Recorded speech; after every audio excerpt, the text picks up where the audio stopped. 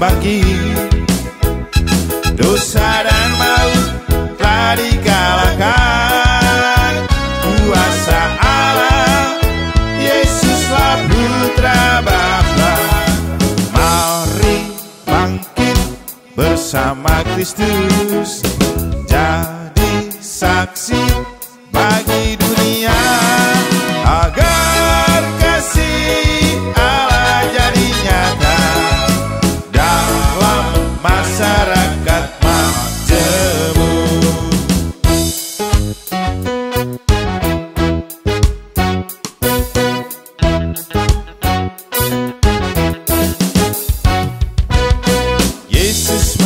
merajut persaudaraan Malam berjamuan bersama kekasih. Ada kekasih yang tak setia. Yesus ketangkap karena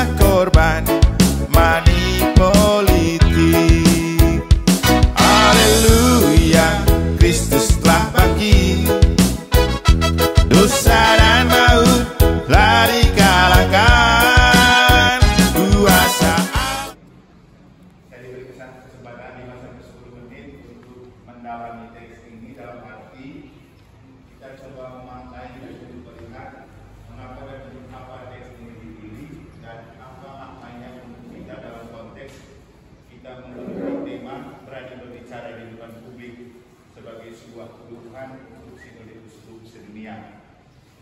Pertama, setelah kita mendengar tadi, mari kita lihat seperti apa sih kondisi yang dialami Santo Paulus dan Silas di penjara. Kurang, kurang lebih seperti ini gambarannya.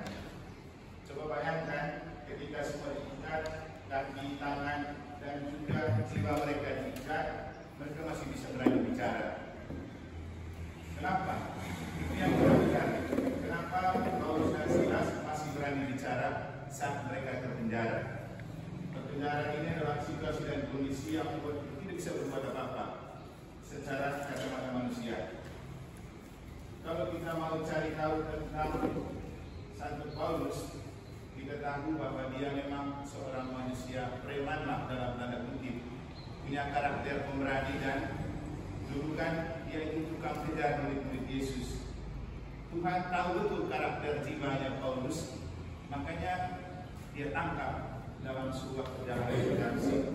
Kenapa? Bukan karena dia penjahat, tapi Tuhan melihat ada sesuatu kebaikan yang dia miliki yang bisa dipakai oleh Tuhan untuk mewartakan. Nah, buktinya Pauluslah yang berani berbicara tentang Injil di luar lingkup Yahudi. Kalau Petrus dan 11 rasul lain kan, ya kalau bahasa kita ya jago kandang mereka. Mereka berani bicara tapi di lingkup budaya Yahudi. Tapi Paulus ini dia tidak terlalu kanan, dia tidak bicara itu berani dalam zona nyaman. Justru di dalam zona yang tidak nyaman itu dia berani. Dan itulah yang dipakai oleh Tuhan. Sehingga ketika dia berani berbicara di dalam penjara, dia berani kenapa? Roh yang masuk di hatinya ketika dia ditangkap oleh Yesus dalam perjalanan Ramsi. Jadi waktu itu Yesus tangkap dia, sekaligus Yesus beri dia kuasa roh karena Yesus bilang silas silas cukup engkau berberi terhadap saya. Sekarang saya memakai. Yesus itu berbicara ada kekuatan roh, makanya sampai alam seluruh. Nah, roh itulah yang menjadi Paulus dan terus pengelolaan semangat Paulus ketika dia sudah menjadi rasul, dia tetap terus punya selera berani.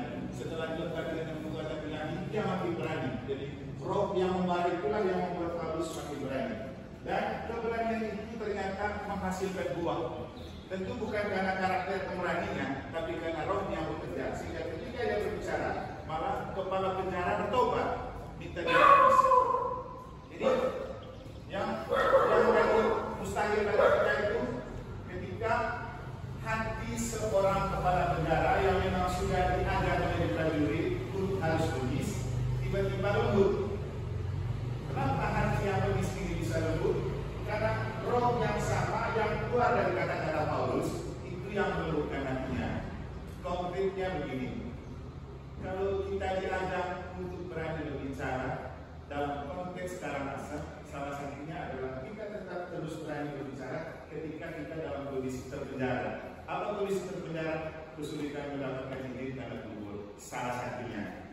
Seperti kata Martin Luther tadi, itu adalah tantangan coba lebih banyak ini ambil untuk Sinode supaya berinspirasi pada case ini. Kita juga belajar untuk seperti Paulus dan Silas berani dong berbicara hal-hal yang kita rasa perlu diperjuangkan.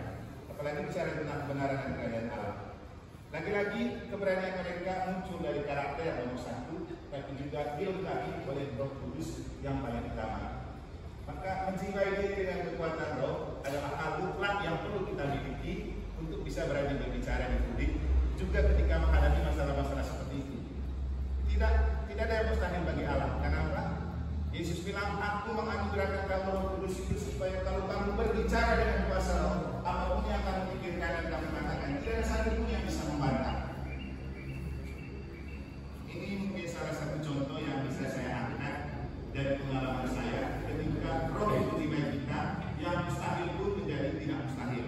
Nah, ini sebuah pengalaman beberapa bulan lalu ketika ada program pengambilan film dokumenter Harmoni Bali tentang sejarah masuknya Islam di Bali. Nah di sini ada ketua MUI Bali, ini ada Bupati Jembrana, ini ada orang lagi berbicara, ini ada presenter yang mereka bawa, ini ada artis di salah satu sinetron namanya Dea Anissa, dan ini Bendesa Agung. Ratu Haji Sukahet. Nah, mereka ini adalah aktor utama dari pengambilan film ini, sedangkan saya ini kebetulan nyosor di sini. Ceritanya, waktu hari Minggu, Romo Venus minta tolong, no, kamu bisa mewakili saya hadiri dan temani kelompok tokoh agama dari provinsi untuk mereka untuk mereka ada acara di negara. Begitu bilang, saya tahu acara apa. Jadi kalau Romo ada waktu, wakili saya. Nah, ada bisa hari Minggu dulu. Ya, kalau ada waktu bisa. Mereka ini mulai dari pagi. Nah, setelah bisa inilah saya pergi, saya bawa jubah dan mereka sedang makan di rumah makan, saya datang dengan pakai jubah. Pak ini karena sudah tahu saya, karena kita ngomong tentang perda di Kusuma, ini sudah kenal. Makanya sudah termasuk saya mestinya ada di perahu yang lain. Tapi saya, saya percaya saya Roh Kudus. Kok saya nyelonong masuk ke sini? Tiba-tiba saya sudah ada di dalam perahu dan jalan. Kan tidak mungkin saya turun lagi. Teman-teman agama dari perahu lain bilang, kok kenapa itu ada di sana? Saya tahu. Saya sudah perahu dan di dalam laut. Nah, ternyata di sinilah diwawancarai pesan-pesan tokoh-tokoh untuk film ini dan untuk kerukunan. Waktu itu bicara dimulai dari Pak Ratu, Bupati, Ketua Umi. Mereka bertiga saja, satu sesi. Setelah itu saya bilang, tidak ngomong kan? Saya kan malu sudah di sini baru tidak berbicara. Saya bisik di sini. Ternyata saya itu oh, ini kalau ngomong. Saya diberi kesempatan berbicara tentang uh, kemajemukan, tentang kekatolikan, tentang Indonesiaan. Dan ternyata mereka merasa yang saya ngomong lebih mudah diterima dan masuk akal dan membuat mereka paham hati kerukunan dalam pandangan katolik dan bagaimana orang katolik menempatkan diri di dalam perbedaan. Dan di sisi itu sudah selalu saya diberi kesempatan untuk berbicara. Dan kemudian saya yang memandu mereka akhirnya dengan membuat sebuah ucapan terima kasih seperti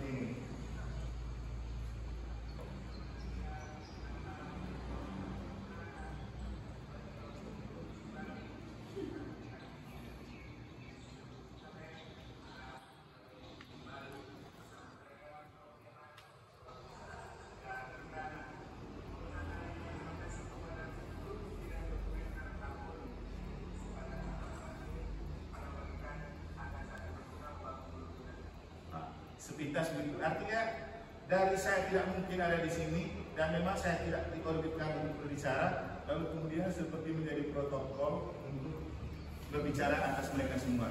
Dan untuk saya, saya berani saja karena saya sudah pakai jubah. Kalau saya tidak pakai jubah, saya tidak berani karena tidak ada identitas ketolikan ini. Dan kenapa saya berani? Karena baru saja merayakan hari ini. Artinya, para suster, kalau mau berani bicara depan bisa dulu, makan dulu Kristus dulu.